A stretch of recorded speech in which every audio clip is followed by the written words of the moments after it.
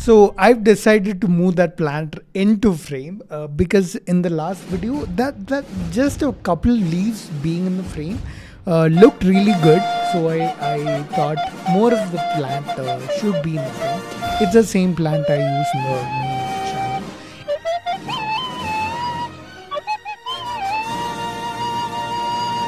In today's video, we've got another conspiracy theorist, this time talking about hand mudras.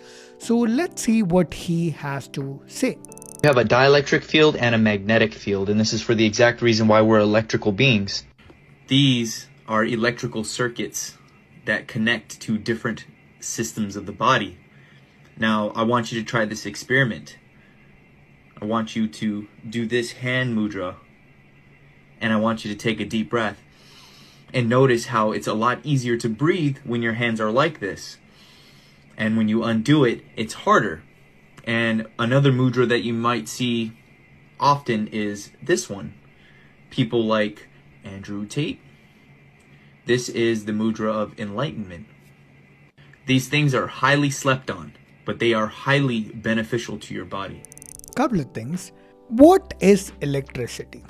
When you have a circuit in which there is something that provides a potential there is a high potential at one end and a low potential at other end then the circuit allows the flow of charges. Now in a normal circuit that we use in in our houses we have a battery or let's say uh, electrical power from uh, the socket from the wires that come into our houses.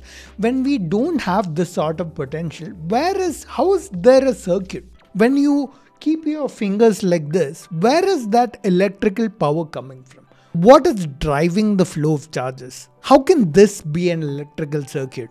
What he's saying is absolute bullshit. None of these are electrical circuits. Also, he actually said he showed some hand mudra and he said it's easier to breathe when you do that and it's not easier when you don't do that.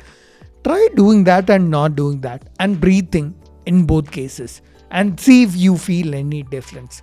You won't feel any difference at all. They're exactly the same. I know what the hell he's saying. And in between, he said, people like Andrew Tate. Andrew Tate, what?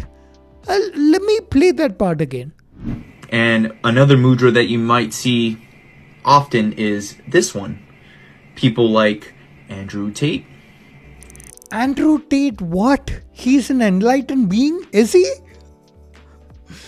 Anyway, uh, yeah, uh, it's another conspiracy theories theorist bullshit video.